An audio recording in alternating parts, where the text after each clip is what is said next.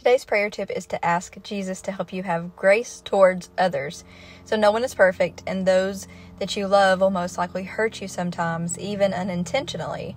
So, if you are in that place where someone has hurt your heart, ask God for His grace, a supernatural grace that goes against what your flesh wants to do. Your flesh may want to get back at that person or harbor resentment. So, ask God to renew your heart and your thoughts and to help you extend grace even when your heart is hurting.